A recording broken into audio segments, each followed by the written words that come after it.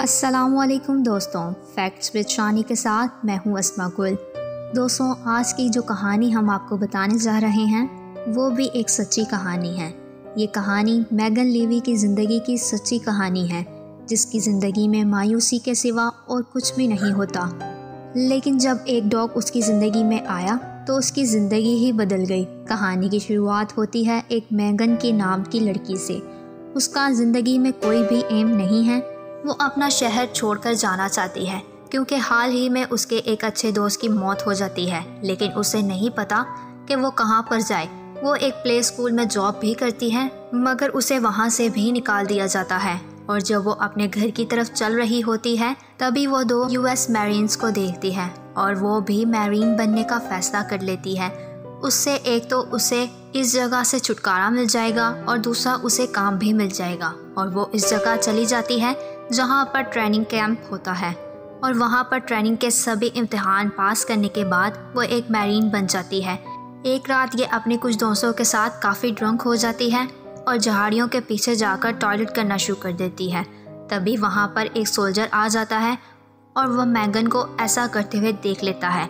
अगली सुबह मैगन को इसका सीनियर बुलाता है और वहाँ से बहुत ज़्यादा डांटता है और उसे सज़ा भी देता है। उसे डॉग्स केज साफ़ करने होते हैं और जब ये वहाँ पर जाती है तो वहाँ पर एक केज होता है, जिसके बाहर रैक्स लिखा होता है। और जब वो इसके पास जाती है तो अंदर एक बहुत ही खूनखवार कुत्ता उस पर हमला करता है। ये बहुत ही ज़्यादा एग्रेसिव होता है। रैक्स से हर कोई डरता है। दरअसल ये आर्मी के वो डॉग्स होते हैं, जो कि हथियार ढूँढने और दुश्मनों पर हमला भी करते हैं। मैगन को एक काफ़ी मोटी जैकेट पहनाकर डॉग्स को ट्रेनिंग देने के लिए मैगन के ऊपर हमला करवाया जाता है। लेकिन जब रैक्स मैगन पर हमला करता है तो वो स्टॉप कहने पर भी स्टॉप नहीं होता, क्योंकि वो किसी का कहना नहीं मानता। इस सब के बाद मैगन को इस काम में बहुत इंटरेस्ट आता है, और वो कुछ खास ट्रेनिंग्स के बाद डॉग हैंडलर बन जाती है। एक दिन ट्रेनिंग के दौरान रैक्स अपने हैंडलर को काट लेता है। उसका सीनियर उसे बुलाकर इसका डॉग मैगन को दे देता है, जिस पर इसे काफ़ी गुस्सा आता है। लेकिन सीनियर की वजह से उसे मजबूरन अपना डॉग मैगन को देना पड़ता है। रेक्स को संभालना मैगन के लिए बहुत ही चैलेंज का काम होता है। यहाँ जब भी किसी डॉग को खाना दिया जाता है तो उसे केज के अंदर एक ऐसी जगह पर जाना होता है, जहाँ खाना खिलाया जाता है। लेकिन जब मैगन उसे खाना देने के लिए जाती है तो रेक्स वहाँ पर नहीं जाता। मैगन भी वहीं पर बैठ जाती है। वो कहती है कि जब तुम अपनी जगह पर नहीं जाओगे, तब तक मैं तुम्हें खाना नहीं दूँगी। काफ़ी देर बैठने के बाद रैक्स जब देखता है कि मैगन नहीं मानने वाली तो रैक्स अपनी जगह पर चला जाता है। मैगन उसे खाना खिलाकर बाहर ले जाती है, जहाँ पर एक घर का मॉडल है, जिसमें डॉग्स को ट्रेनिंग दी जाती है। उसमें अलग अलग बॉम्ब ढूँढने होते हैं, मगर जब रैक्स और मैगन की भारी आती है तो वो पाँच में से बस एक बॉम्ब ही ढूंढ पाते हैं। उनका सीनियर उन्हें एक और मौका देता है। अब रैक्स दूसरी तरफ़ जा रहा होता है, लेकिन मैगन उसे खींच लेती है। उसका सीनियर उसे कहता है कि तुमने ऐसा क्यों किया? मैगन कहती है कि आपने हमें एक पैटर्न बताया है और हमें इस पैटर्न के हिसाब से चलना होगा। सीनियर कहता है कि पैटर्न को भूल जाओ और अपने डॉग को फॉलो करना शुरू करो। मैगन ऐसा ही करती है और रेक्स कुछ ही सेकंड्स में एक बॉम्ब ढूंढ लेता है। मैगन का सीनियर उसे कहता है कि तुम्हें रेक्स के साथ अपना बॉन्ड बनाना पड़ेगा। मैगन ऐसा ही करती है और वो ज़्यादा से ज़्यादा वक्त उसके साथ गुजारती है। उन्हें इराक भेजा जाता है, वहाँ पर उसकी मुलाकात एक सोल्जर से होती है, जिसका नाम मैट है। उन्हें अपने डॉग्स के साथ एक जगह पर भेजा जाता है। उन्हें वहाँ पर गाड़ियाँ तक करनी होती हैं। वहाँ पर एक बच्चा मैगन से उसके डॉग का नाम पूछता है, वो उसे बता देती है। लेकिन इस बात पर मैट उसे डांटता है। वो कहता है कि कभी भी अपने डॉग का नाम किसी को मत बताना, वरना तुम इसको खो दोगी।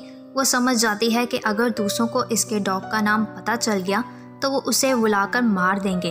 अब उन्हें एक मिशन पर भेजा जाता है। वहाँ पर सोल्जर्स पूरे घर को चेक करते हैं, लेकिन उन्हें कुछ भी नहीं मिलता। फिर मैगन और रेक्स कालीनों के पीछे बहुत सारे हथियारों को ढूंढ लेते हैं। ये एक बहुत बड़ी अचीवमेंट होती है। ये पहला बड़ा काम होता है जो मैगन और रेक्स ने मिलकर किया होता है। अब उन्हें चेक पॉइंट की बजाय ऐसी जगहों पर भेजा जाता है जहाँ पर ख़तरा ज़्यादा होता है। और मैगन और रेक्स अपना काम बखूबी निभाते हैं, जिसकी वजह से आर्मी का उन पर अतमाद और भी मज़बूत हो जाता है। एक मरतबा उन्हें एक बेहड़ में ले जाया जाता है, जहाँ पर रेक्स बहुत सारे डायनामाइट ढूंढता है। उनके सामने एक गाड़ी आती है, और जब ये उसे चेक करने के लिए जाते हैं तो वहाँ पर एक ज़ोरदार ब्लास्ट होता है, जिससे ये दोनों दूर जाकर गिरते हैं। उन्हें पता चल जाता है कि कोई रिमोट से बॉम्ब को कंट्रोल कर रहा है। ये आहिस्ता आहिस्ता चलते हुए घरों की तरफ़ बढ़ना शुरू करते हैं और ये देखते हैं कि वहीं से बॉम्ब को कंट्रोल किया गया था, लेकिन अब वहाँ पर कोई भी नहीं होता और अचानक इन पर हमला कर दिया जाता है, जिसकी वजह से उन्हें वहाँ से निकलना पड़ता है। किसी भी तरह गोलियों से बचते हुए ये सब अपनी गाड़ियों तक पहुँच जाते हैं, लेकिन जैसे ही मैगन गाड़ी के ऊपर चढ़ती है, वहाँ पर एक ब्लास्ट हो जाता है, जिससे वो गिर जाती है। रेक्स उसे बचाने के लिए कूद जाता है और वो उसे उठाता है। इसके बाद ये दोनों गाड़ी में बैठ जाते हैं और ये बेस में पहुँचने के बाद मैगन को दूसरी जगह शिफ्ट कर दिया जाता है, क्योंकि वो ज़ख्मी होती है। डॉक्टर बताता है कि ब्लास्ट की वजह से उसके सुनने की हिस्स पर असर पड़ा है और उसे ठीक होने में कुछ वक्त लगेगा। वो रेक्स को बहुत मिस करती है, उसे तीन हफ़्ते की छुट्टी पर घर भेज दिया जाता है। लेकिन ये हर वक्त रेक्स के बारे में सोचती है। जब ये वापस जाती है तो रेक्स को देखकर बहुत खुश होती है। और ये ट्रेनिंग शुरू कर देती है। ये अपनी नौकरी छोड़कर रेक्स को अडॉप्ट करना चाहती है। वो रेक्स को लेकर डॉक्टर के पास जाती है, क्योंकि जब तक डॉक्टर उसे यह लिखकर नहीं देगा कि रेक्स को अडॉप्ट किया जा सकता है, तब तक ये उसे अडॉप्ट नहीं कर सकती। लेकिन डॉक्टर रिपोर्ट में ये लिख देती है कि ये अनअडॉप्टेबल है। इसे अडॉप्ट नहीं किया जा सकता। मैगन के काफ़ी रिक्वेस्ट करने के बाद भी डॉक्टर नहीं मानती। इस बात पर यह काफ़ी अफसरदा होती है और इसके साथ ही रेक्स के लिए एक नया हैंडलर भी लाया जाता है। जब मैगन रेक्स को उसके साथ ट्रेनिंग करते देखती है तो अपने सीनियर के पास जाती है। डॉक्टर उसे बताता है कि रेक्स को अगले मिशन के लिए अफ़गानिस्तान भेजा जा रहा है और वो इस बारे में कुछ भी नहीं कर सकता। पर वो मैगन से कहता है कि अगर वो चाहे तो आखिरी बार रेक्स से मिल सकती है। आखिरी मुलाकात के बाद मैगन वापस अपनी पुरानी ज़िंदगी में आ जाती है और बिल्कुल भी खुश नहीं होती। एक साल गुजरने के बाद भी ये रेक्स को नहीं भूल पाती। मैगन अपना घर छोड़कर अपने डैड के घर चली जाती है। उसके डैड के समझाने के बाद वो अपनी नॉर्मल लाइफ में लौट आती है। वो जॉब करना शुरू कर देती है और आर्मी बेस में कॉल करके बार बार ये रेक्स की खबर मालूम करती रहती है। लेकिन उसे कोई भी जवाब नहीं मिलता। कुछ सालों के बाद उसे आर्मी बेस से कॉल आती है कि अब ये रेक्स से मिल सकती है, क्योंकि आर्मी ने फैसला किया है कि रेक्स को रिटायर्ड कर दिया जाए। मैगन उसे अडॉप्ट करने का पूछती है, लेकिन उसे बताया जाता है कि फ़ाइल पर लिखा है कि रेक्स अडॉप्टेबल नहीं है, और अगर वो इसे अडॉप्ट करना चाहती है तो उसे जल्द ही कुछ करना होगा। इसकी तबीयत ठीक नहीं है। इसके फेस का एक हिस्सा लकवा मार गया है। मैगन रेक्स को अडॉप्ट करने के लिए सैनिटर से मिलती है, और उसे अपने और रेक्स की फ़ोटोज़ भी दिखाती है, और रिटायरमेंट सरमनी के लिए जब तमाम डॉग्स आ रहे होते हैं तो रेक्स मैगन को देखकर भागता हुआ इसके गले लग जाता है। इसके बाद दिसंबर 2012 तक, जब तक रेक्स ज़िंदा रहता है, मैगन और रेक्स एक साथ एक ही घर में रहते हैं। ये थी एक सच्ची कहानी मैगन लीवी की। ये मूवी सन 2017 में बनी थी। आईएमडीबी पर इस फ़िल्म की रेटिंग 7.1 है। उम्मीद करते हैं कि ये कहानी आपको भी पसंद आई होगी। वीडियो अच्छी लगने की सूरत में इसे लाइक करें कमेंट करें और अपने दोस्तों के साथ शेयर भी करें। और जिन्होंने अभी तक हमारे चैनल फैक्ट्स विद चानी को सब्सक्राइब नहीं किया, वो इसे सब्सक्राइब करते हुए बेल आइकन पर क्लिक करके ऑल नोटिफिकेशन को अनेबल कर लें।